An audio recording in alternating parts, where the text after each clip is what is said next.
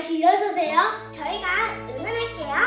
응원에 부담감 갖지 말고 한 골 넣어주세요. 충청도요. 응원에 부담감 갖지 마시고요. 기회다 싶으면 냅다 꽂아버리셔요. 화이팅!